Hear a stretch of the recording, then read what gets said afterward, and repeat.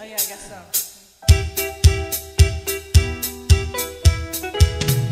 Grandma got run over by a reindeer Walking home from our house Christmas Eve You can say there's no such thing as Santa But as for me and Grandpa, we believe She'd been drinking too much eggnog. And he begged to go. But she forgot her medication and she staggered out the door into the snow. When we found her Christmas morning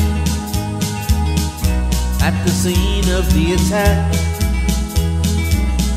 she had hoof prints on her forehead and incriminating Claus marks on her back. Grandma got run over by a reindeer Walking home from our house Christmas Eve.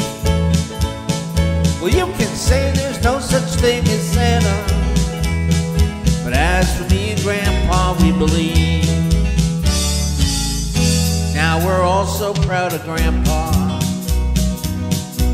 He's been taking this so well.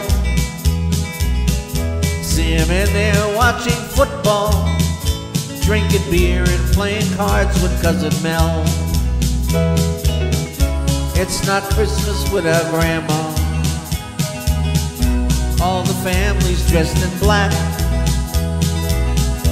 And we just can't help but wonder should we open up her gifts or send them back? Grandma got run over by a reindeer walking home from our house Christmas. Well, you can say there's no such thing as Santa, but as for me and Grandpa, we believe. Now the goose is on the table, and the pudding made of fig,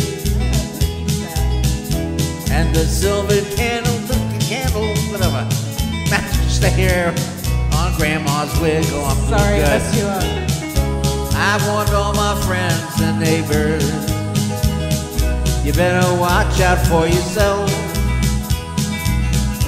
They should never give a license to a man who drives a sleigh and plays with elves. Grandma got run over by a reindeer walking home from our house Christmas Eve.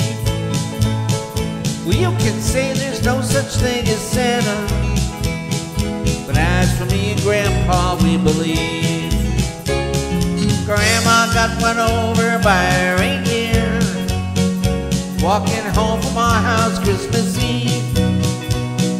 Well, you can say there's no such thing as Santa. But as for me and Grandpa, we believe